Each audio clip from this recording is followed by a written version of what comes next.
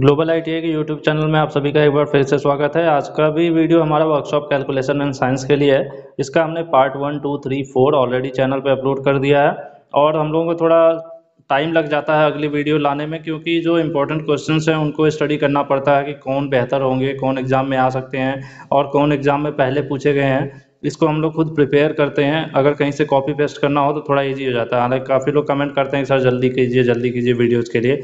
तो भाई, अगर क्वालिटी वीडियो चाहिए तो आपको वेट करना पड़ेगा।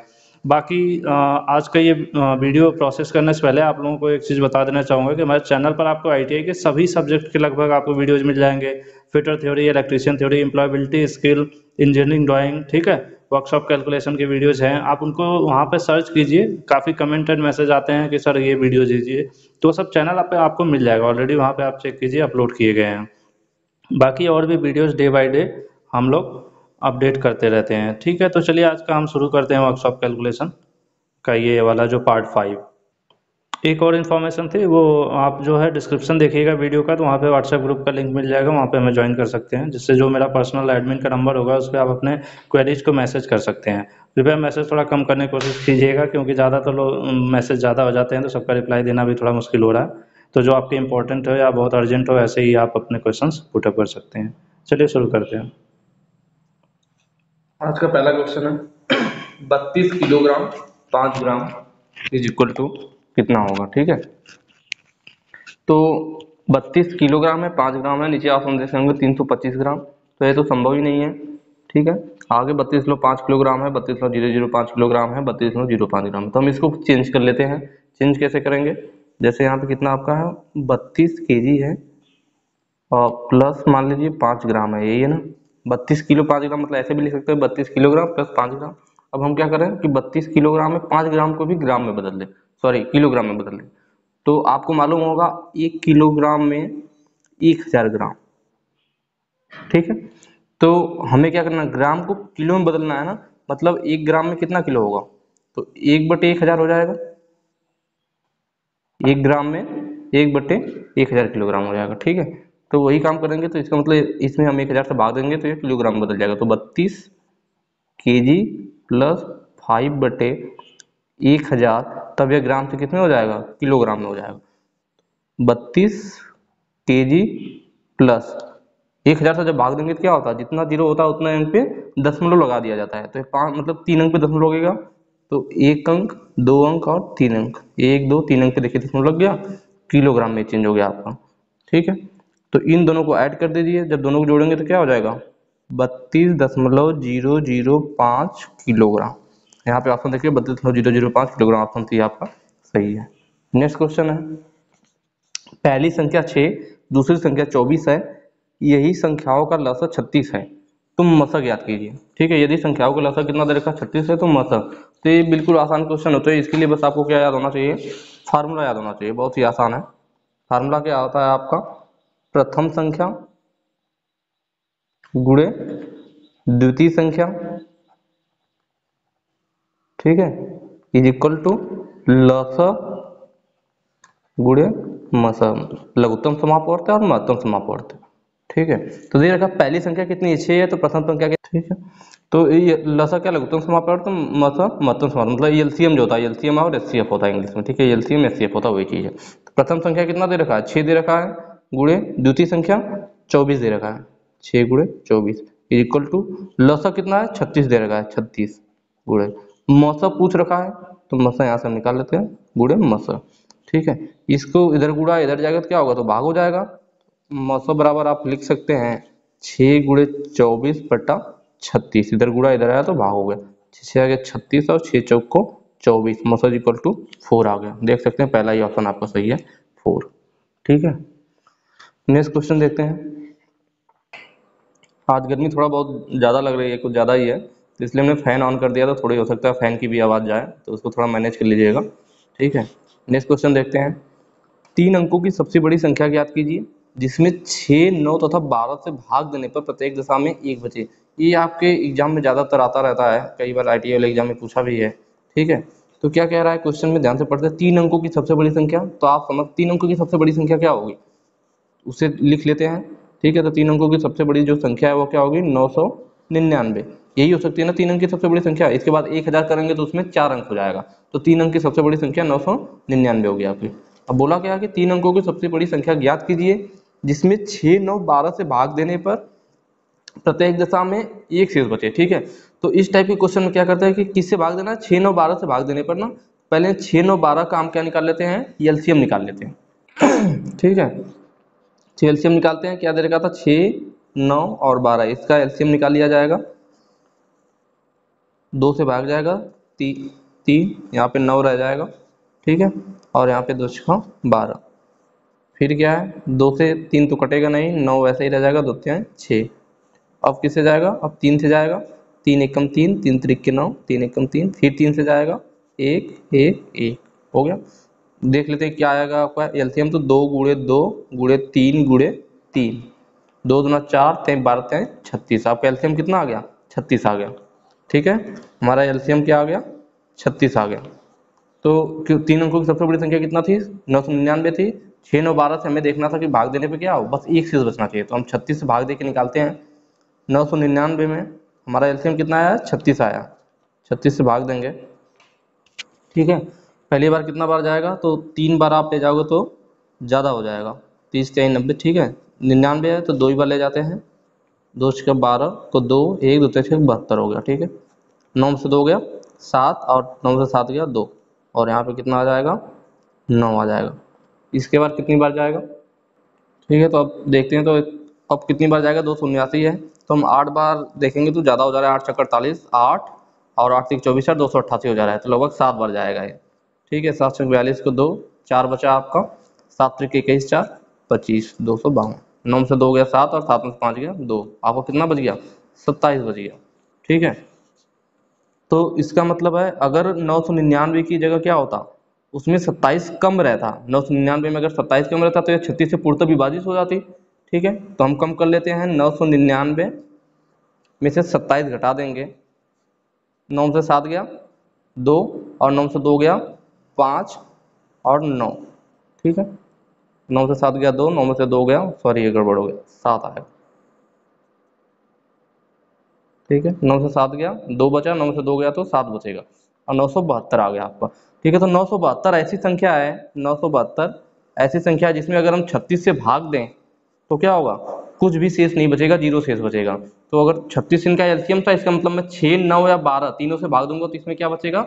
ज़ीरो बचेगा। जबकि हमें क्वेश्चन में क्या बोल रखा था? भाग देने पर प्रत्येक दशा में शेष एक बचना चाहिए।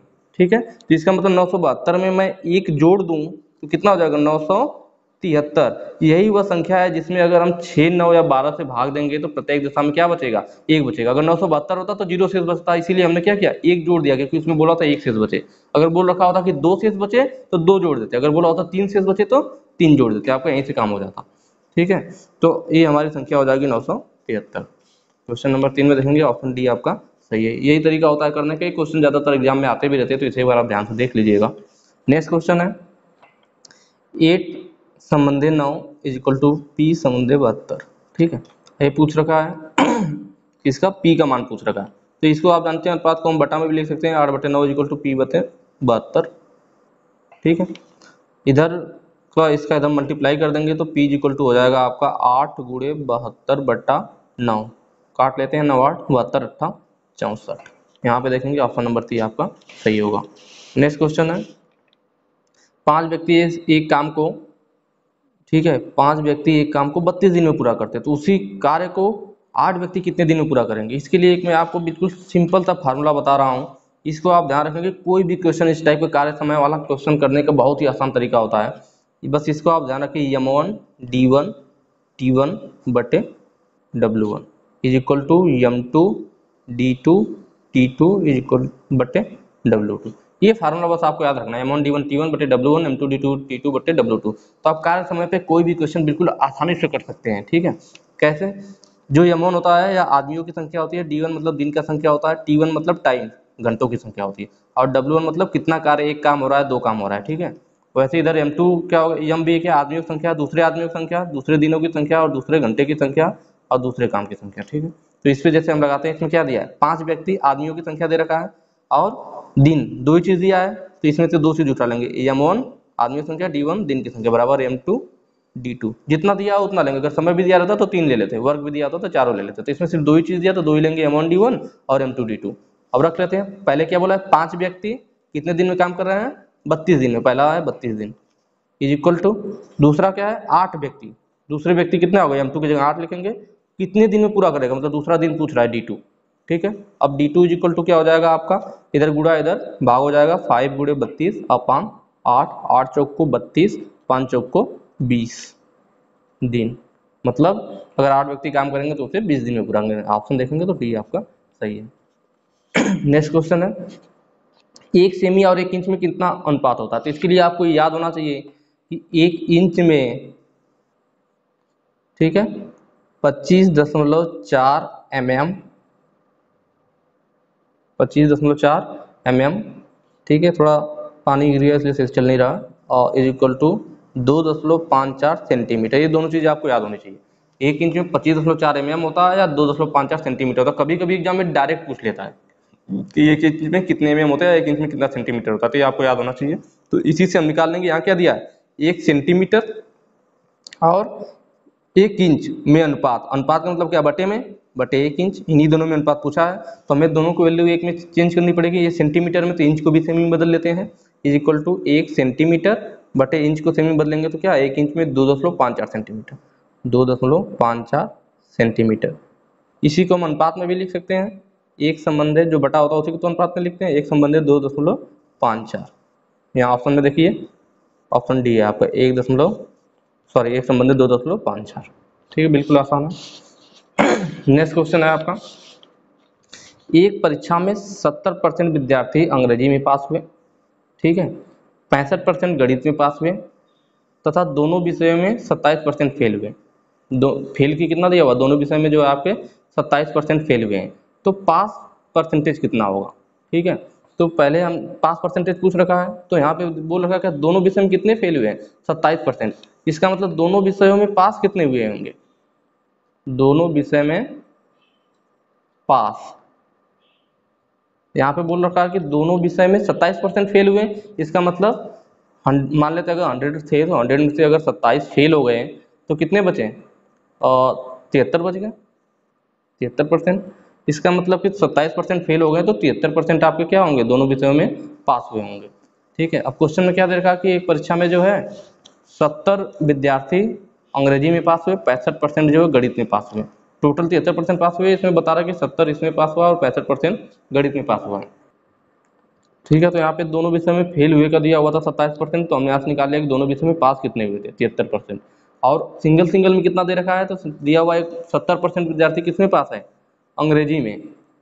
ठीक है तो पास हुए परसेंट निकालने के लिए क्या करेंगे? पास हुए परसेंट निकालने के लिए कितने, जो हमारा सत्तर परसेंट किसमें पास है? इंग्लिश में प्लस पैंसठ परसेंट अंग्रेज़ी में। इनमें से जो दोनों में पास हुए हैं, उसको घटा देंगे। दोनों में पास कितने हुए? तिहत्तर परसेंट। इसको घटा देंगे तो टोटल पता चल जाएगा कि कितने परसेंट पास हुए हैं। ठीक है? तो ये कितना हो जाएगा आपका? पाँच और सात, छः, तेरह। एक सौ पैंतीस माइनस तिहत्तर। इसे घटा लीजिए। पाँच में से तीन गया दो और तेरह से सात गया छः, बासठ परसेंट। तो आप देख रहे होंगे आपका ऑप्शन बी सही है, बासठ परसेंट। ठीक है? नेक्स्ट है अंडर रूट चार सौ का बीस परसेंट। मतलब चार सौ को अंडर रूट में। यही ना? अंडर रूट चार सौ हो गया। इसका पूछ रहा बीस परसेंट कितना होगा? तो ये बाहर आएगा तो कितना हो जाएगा? वर्गमूल मैंने बोला था बीस तक याद कर लीजिए तो आपको आसानी होगी क्वेश्चन करने में। बीस सी एम चार सौ। बीस बाहर आ जाएगा। तो अंडर रूट चार सौ को हमने बाहर निकाला, बीस आ गया। पूछा कि अंडर रूट चार सौ का बीस परसेंट। मतलब बीस का बीस परसेंट मतलब बीस बटे सौ। कितना होगा? दो दुना चार। ऑप्शन बी देखेंगे तो दो दुना चार दिया हुआ है आपका। ठीक है? नेक्स्ट क्वेश्चन है। व्हाइट मेटल में व्हाइट मेटल में 20 भाग तीन रहेगा यहाँ पे, ठीक है? तीन है। 20 भाग किसका है? तीन का है। तीन भाग तांबा मतलब कॉपर का है, और दो भाग एंटीमनी है। तो इनकी परसेंटेज क्या है? सबकी अलग अलग परसेंटेज पूछ रहा है, ठीक है? तो व्हाइट मेटल में कितना है? बीस भाग है प्लस सॉरी बीस भाग क्या है? तीन है। प्लस जो है आपका, तीन भाग कॉपर है, या तांबा जो लिखा हुआ, ठीक है? तीन भाग क्या? तांबा है प्लस दो भाग एंटी मनी है। ठीक है? टोटल कितना होगा? तो बी मतलब अगर व्हाइट मेटल देखा जाए तो टोटल कितना मिला के बना हुआ? तो बीस प्लस तीन, तेईस दो, पच्चीस। मतलब पच्चीस भाग टोटल मिला के हमारा क्या बनाया गया है? व्हाइट मेटल बनाया गया है। तो पूछ रहा जो टीन वाला भाग का परसेंटेज कितना है? इस, इसमें टीन वाला भाग कितना परसेंट है? तो इसको निकालने के लिए क्या, बीस भाग है? तो मतलब पच्चीस में कितना भाग है? बीस भाग है। परसेंटेज निकालने के लिए क्या करते हैं? हंड्रेड से गुणा कर देते हैं। टीन का परसेंट निकाल रहे हैं, ठीक है? टीन का परसेंटेज तो टीन का दिया हुआ था, कितना टीन है? इसमें बीस भाग है। कितने में बीस है? तो पच्चीस में बीस भाग हमारा क्या है? एंटी मनी गुड़े हंड्रेड से गुड़ा कर देंगे तो हमारा परसेंटेज पता चलेगा। पच्चीस चौको सौ, बीस चौको अस्सी। मतलब अस्सी परसेंट हमारा क्या है? टीन है। तांबा की बारी आती है। तांबा की परसेंटेज कितनी है? तो 25 में कितने परसेंट तांबा है? तो 25 में तीन सॉरी 25 में कितना भाग? तो 25 भाग में जो है, तीन भाग हमारा क्या है? तांबा है। तो तीन ऊपर लिख लेंगे गुड़े हंड्रेड। पच्चीस चौक को सौ चार तीन बारह। बारह परसेंट ठीक है? वैसे ही आपकी एंटी मनी की बात आती है। एंटी मनी ठीक है? तो एंटी मनी भी पच्चीस में, पच्चीस भाग में कितना भाग एंटी मनी था? दो भाग था। तो दो ऊपर लिख लेंगे गुड़े हंड्रेड। पच्चीस चौक को सौ और चार दुना आठ आठ परसेंट तो अस्सी बारह और आठ तीनों सीरियल से तीन अस्सी परसेंट ताबा बारह परसेंट और एंटीमनी आठ परसेंट ऑप्शन में देखिए तो ऑप्शन सी आपको नज़र आ रहा होगा, अस्सी बारह, आठ। तो ऑप्शन सी हमारा सही होगा। नेक्स्ट क्वेश्चन है। धातुओं का वह गुण जिसके कारण स्प्रिंग कार्य करता है। ठीक है? स्प्रिंग आप जानते होंगे स्प्रिंग में क्या होता है? ये प्रत्यास्था रहेगा आपका प्रत्यास्थाता हो गया है। इसे क्या बोला जाता है? प्रत्यास्था। ठीक है, जिसे इलास्टिसिटी कहते हैं। इलास्टिसिटी ठीक है? तो जो स्प्रिंग जानते हैं स्प्रिंग क्या होती है? स्प्रिंग मतलब जिसे आप दबाते हैं तो दब जाती है, लेकिन जैसे ही आप लोड हटाते हैं, जैसे ही उस पर से आप लोड हटाएँगे तो क्या होगा? वो अपनी प्रारंभिक अवस्था में पुनः आ जाती है। स्प्रिंग को हाथ से दबाएँगे, दब जाएगी, जियो छोड़ेंगे, फिर क्या होगा? अपनी पहली वाली स्थिति में आ जाएगी। तो इसी गुण को इलास्टिसिटी बोला जाता है। प्लास्टिकता क्या होता है? अगर किसी वस्तु पर आप फोर्स लगाओ, इस, मान लीजिए आपने स्प्रिंग को क्या किया? बिल्कुल खींच दो। ज़्यादा लोड लगा के खींच दोगे तो क्या होगा? वो पूरा फैल जाएगी फिर उसे क्या आप छोड़ोगे तो वापस अपनी स्थिति में आएगी? नहीं आएगी। तो उस वाले गुण को प्लास्टिकता बोला जाता है। ठीक है? नेक्स्ट है स्टिफनेस ये भी आपका दृढ़ता से मतलब है और ऐसे ही टफनेस है चिमड़पन है आपका। ठीक है? तो इसमें आपका ऑप्शन ए सही होगा, प्रत्या, प्रत्यास्था इलास्टिसिटी जो आपकी स्प्रिंग होती है, किस पे काम करती है? इलास्टिसिटी पे काम करती है। नेक्स्ट है, मशीनों की बॉडी किस धातु की बनाई जाती है? तो जो मशीनों की बॉडी होती है, वह ढलवा लोहा या कास्ट आयरन की बनाई जाती है। ठीक है? नेक्स्ट क्वेश्चन है, विद्युत लैंपों में लगा फिलामेंट निम्न धातु का होता था तो विद्युत लैंप में जो हमारे फिलामेंट लगे होते हैं, वह टंगस्टन के होते हैं। बिजली का संचालन करने वाली गैर धातु, ठीक है, कि किसमें से जो है, बिजली का संचालन इसमें से हो सकता है। फाइबर फाइबर जानते हैं, एक तरह से प्लास्टिक हो गया, प्लास्टिक, उसमें तो आपका बिजली बहेगी नहीं, फेल्ट हो गया, इसमें भी आपकी बिजली फ्लो नहीं करेगी। पोर्सलेन, ये जो चीनी मिट्टी होता है, जो खम्भों पे आपने देखा होगा, ऊपर मिट्टी टाइप का पहले लगाया जाता था, अब नहीं लगता है। तो वो पोर्सलिन होता है, उसमें भी करंट फ्लो नहीं होता। है ये यहाँ पे ग्रेफाइट होगा ग्रेफाइट हो गया क्या आपका? ग्रेफाइट है। ग्रेफाइट जो कि पेंसिल में होता है। तो उसमें करंट फ्लो होती है आपके तो ऑप्शन डी आपका सही होगा। नेक्स्ट क्वेश्चन है, एक गेट का द्रव्यमान 175 ग्राम है, इसका आयतन 1500 सीसी है, ठीक है? क्यूबिक होता है क्यूबिक सेंटीमीटर सीसी का मतलब क्या होता है? सीसी का मतलब होता है क्यूबिक सेंटीमीटर ठीक है? तो दे रखा कि एक गेंद का द्रव्यमान एक सौ पचहत्तर ग्राम है और इसका आयतन कितना है? पंद्रह सी है। तो इसका घनत्व तो कितना होगा? तो आपको फार्मूला मैंने पहले भी बताया था कि घनत्व बराबर क्या होता है? घनत्व को रो से दिखाते हैं। घनत्व को रो से दिखाते हैं। घनत्व is equal to M upon V मतलब द्रव्यमान बटा आयतन। ठीक है? तो यहाँ पे हमें घनत्व निकालना है मतलब रो का मान निकालना है। यम द्रव्यमान कितना दे रखा है? एक सौ पचहत्तर ग्राम। और आयतन कितना दे रखा है? पंद्रह। सेमी क्यूब जो भी है आपका इसे भाग दे दीजिए। पंद्रह एकम पंद्रह ठीक है? दो बज गया। दो बज गया आपका पच्चीस हो जाएगा। फिर मतलब एक ही बार जाएगा पंद्रह एकम पंद्रह। और पन, कितना दस बज गया? दशमलव लगा देंगे तो सौ हो जाएगा। पंद्रह छका नब्बे। फिर दस बज जाएगा फिर ज़ीरो बढ़ जाएगा सौ होगा फिर पंद्रह छका नब्बे। मतलब ग्यारह दशमलव छः छः आएगा आपका। यहाँ ऑप्शन में देखते हैं तो ऑप्शन पहला वाला ही सही है, ग्यारह दशमलव छ छ ठीक है? नेक्स्ट क्वेश्चन देखते हैं। गुरुत्वाकर्षण का मान होता है। गुरुत्वाकर्षण मतलब जो आपका स्मॉल जी होता है, उसका मान पूछ रहा है कितना होता है तो तो आप जानते होंगे, नौ दशमलव आठ एक मीटर पर सेकेंड स्क्वायर तो यहाँ ऑप्शन में देखेंगे तो ऑप्शन डी आपको दिखाई दे रहा होगा, नौ दशमलव आठ एक मीटर प्रति सेकेंड स्क्वायर ये वैल्यू आपको याद रखनी है। नेक्स्ट क्वेश्चन है, एक रेलगाड़ी 1500 किलोमीटर की दूरी 50 हॉर्स में तय करती है, रेलगाड़ी की औसत गति है। तो आपको फार्मूला मालूम होगा, चाल इज़ इक्वल टू क्या होता है? चाल या गति एक ही बात है, दूरी बटा समय। ठीक है? तो इसमें दे रखा है, चाल की दूरी कितनी है? दूरी 1500 किलोमीटर है 1500 और समय कितना लग रहा है? 50 घंटे। 50 घंटे। ठीक है? अब इसे डिवाइड कर दीजिए। पाँच पंद्रह, तीस। चाल कितना आ जाएगा? तीस किलोमीटर प्रति हावर ऑप्शन में देख लीजिए। ऑप्शन सी आपका सही है, तीस किलोमीटर प्रति नेक्स्ट क्वेश्चन है, गति का विस्थापन किससे परिवर्तित होता है? ठीक है? गति का विस्थापन, गति मतलब जानते हुए वही वेग है। एक कंफ्यूज करने के लिए इस टाइप से क्वेश्चन लिखा हुआ है कि ये क्या कहना चाह रहा है? इसका मतलब वेग में परिवर्तन की दर को पूछ रहा है। तो आप जानते हैं वेग में परिवर्तन की दर क्या होती है? त्वरण होती है। वही गति के विस्थापन जो परिवर्तित होगा तो क्या होगा? वह त्वरण होगा। ऑप्शन बी आपका सही है। नेक्स्ट क्वेश्चन है 200 सौ की वस्तु को 10 मीटर की ऊंचाई पर रखने में किया गया कार्य। ठीक है? जिसके लिए आपको फार्मूला याद होना चाहिए। W is equal to M G H ठीक है? ये फार्मूला होता है आपका। W is equal to M G H कार्य बराबर होता है। ए W आपका क्या है? कार्य है। एम क्या है? द्रव्यमान है। जी जो है आपका, जो जी है आपका, वो गुरुत्वाकर्षण है। गुरुत्वाकर्षण और जो यच है वह क्या आपकी ऊंचाई है। ठीक है? यच आपकी ऊंचाई है। तो यहाँ पे हम लगाते हैं W is equal to M G H तो आप देख लीजिए यम मतलब द्रव्यमान कितना दिया हुआ है? 200 किलोग्राम 200 लिख देते हैं। इंटू जी का मान तो जी का मान आप जानते होंगे, नौ दशमलव आठ एक होता है। इसीलिए ऊपर देखिए पूछा भी था क्वेश्चन में, ठीक है? तो आपको याद होना चाहिए, तभी आप न्यूमेरिकल लगा पाएँगे। जी का मान नौ दशमलव आठ एक गुड़े, ऊंचाई कितनी है? तो ऊंचाई यहाँ पे दस मीटर दे रखी है। तो ऊंचाई की जगह दस रख देंगे, ठीक है? तो अभी देखिए दो सौ है और ये दस है। तो दो सौ दहा में दो हज़ार गुड़े नौ दशमलव आठ है। अब इनका आपस में गुड़ा कर लेते हैं। पहले दो से गुड़ा कीजिए, फिर तीन तीन ज़ीरो बाद में बढ़ा लेंगे। गुड़ा कीजिए कितना आएगा? दो एकम दो दो अट्ठे सोलह को छः हाथ में आया एक, दो नौ अट्ठारह एक, उन्नीस उन्नीस सौ बासठ और ये तीन ज़ीरो और है तो तीन ज़ीरो और बढ़ जाएगा, ठीक है? दो अंक पे दशमलव था तो दो अंक पे दशमलव लगा दिया जाएगा। तो आपका क्या आ जाएगा? उन्नीस हज़ार छः सौ बीस। देखते हैं, जूल आएगा आपका कार्य जूल में होता है। उन्नीस हज़ार छः सौ बीस जूल ऑप्शन सी आपका सही है। नेक्स्ट क्वेश्चन है। एक जो है, दस हाफ़ पावर की मोटर है, प्रतिदिन आठ घंटे चलती है। तो तीस दिन में विद्युत ऊर्जा खर्च होगी। तीस दिन में कितना विद्युत ऊर्जा खर्च होगी, ठीक है? तो इसके लिए आपको ये फार्मूला है फार्मूला याद रखेंगे तो आसानी से हो जाएगा। क्या दे रखा है कि फार्मूला आपका होता है, विद्युत ऊर्जा खर्च होगी। B I is equal to formula होता है कि कितना खर्च होगा?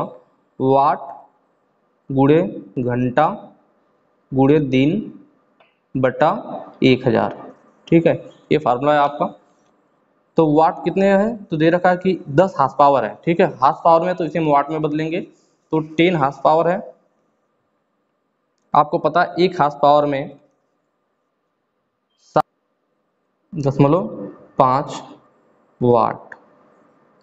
ठीक है, सात सौ पैंतीस दशमलव पाँच वाट होता है आपका एक हाथ पावर में। या फिर एक इसमें मीट्रिक में है।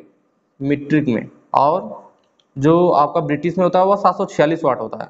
सात सौ छियालीस वाट किसमें होता है? ब्रिटिश में होता है। तो इस क्वेश्चन में दिया ही नहीं है कि आपको जो हाथ पावर लेना हो किसमें लेना है? मीट्रिक या ब्रिटिश में? ये क्वेश्चन आपका एग्ज़ाम में आया हुआ भी था आईटीआई में। तो उसमें क्या हो गया था कि हमें दोनों को रख के चेक करना पड़ गया था किसके रखने पे इसमें आपकी वैल्यू मिलती है। तो पता चला सात सौ पैंतीस वाले पे जाके मैच की। थी जबकि इसे क्वेश्चन में ऐसा देना चाहिए कि नहीं ब्रिटिश में लेना है या मेट्रिक में लेना है, पर इसने दिया नहीं था, ठीक है? तो आगे देखते हैं आप इसको।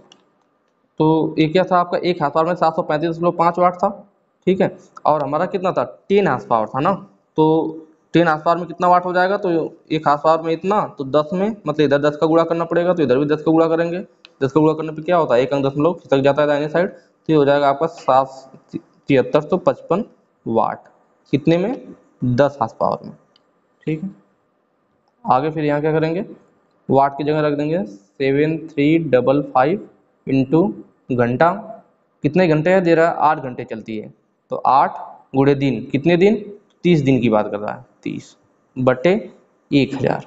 ठीक है, एक हज़ार अगर आप नहीं लिखते हैं, वाट गुड़े घंटा गुड़े दिन अगर सिर्फ़ लिखेंगे तो जो आपकी वैल्यू आएगी, वो किसमें आएगा? वाट में आएगा। और अगर आप एक हज़ार से भाग देके यहाँ बटे एक हज़ार कर देंगे तो आपको किलो वाट में आएगा। तो ऑप्शन देख रहे हैं, आप सारे किसमें है? किलो वाट में। तो इसीलिए फार्मूले को हम पूरा यूज़ करेंगे। अगर आप फार्मूला पूरा ऐसे यूज़ करते हो, वाट गुड़े घंटा गुड़े दिन बटे एक हज़ार तो आपकी जो वैल्यू आएगी वो किलो वाट में आएगी। और अगर आप एक हज़ार नहीं, सिर्फ़ वाट गुड़े घंटा गुड़े दिन रखते हो तो जो आपकी वैल्यू आएगी वो वाट में आएगी। ठीक है? तो मैं पहले से एक हज़ार फार्मूले में लिख रखा हूँ तो इससे हमारी जो वैल्यू होगी वो किलो वाट में आएगी।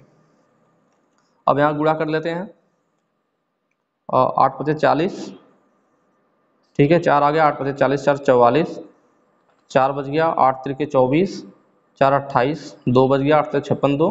अंठावन हो गया, ठीक है। और गुड़े तीस। बटे एक हज़ार है आपका। और ये देखिए, एक ज़ीरो यहाँ से कट जाएगा और एक ज़ीरो यहाँ पे कट जाएगा। बाकी गुड़ा कर लेते हैं। तीन चौक को बारह को दो। एक बचा तीन बाटे चौबीस एक, पच्चीस को पाँच, दो बचा, तीन बाटे चौबीस तो छब्बीस को छः, दो बज गया आपका, तीन पचे पंद्रह दो, सत्रह बटा दस।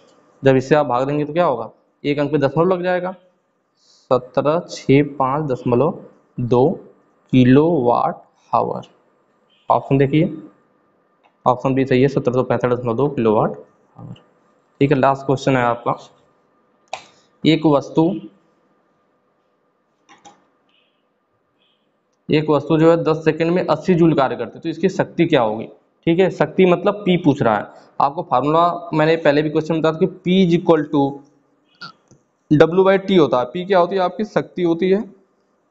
डब्ल्यू जो होता है आपका, यह कार्य होता है और टी क्या होता है? आपका समय होता है। ठीक है तो हमसे शक्ति पूछ रखा है पी का मान पूछ रखा है। डब्ल्यू मतलब कार्य। कार्य दिया हुआ ना, कितना कार्य करती है? अस्सी जूल का कार्य करती है। अस्सी बटा कितने समय में? दस सेकेंड में। समय का मान दस दे रखा दस वाट है, अस्सी। मतलब क्या आ जाएगा आपका? आठ वाट। ऑप्शन बी आपका यहाँ पे सही इसमें आपको हमने सॉल्व करवा दिए सभी क्वेश्चंस देखिए, हमारा वीडियो थोड़ा लंबा हो जाता है क्योंकि जो ऑप्शंस दे रखे होते हैं ऑप्शंस को हम सॉल्व करते हैं, साथ ही जो गलत ऑप्शन होता है, उसको भी डिफाइन करते हैं कि वो सही क्यों नहीं होगा। ठीक है तो इसमें थोड़ा समय लग जाता है। अगर हम directly A B C D करके आंसर्स आपको पढ़ देंगे तो शायद कोई बेनिफिट नहीं होगा। ठीक है? चलिए, आपने 20 क्वेश्चन तो कर लिया, लेकिन आगे भी एक दो क्वेश्चन आपके हमारे तरफ़ से है। पहला कि सब्सक्राइब कर, किए हैं कि नहीं किए हैं? नहीं किए हैं तो ज़रूर करिए।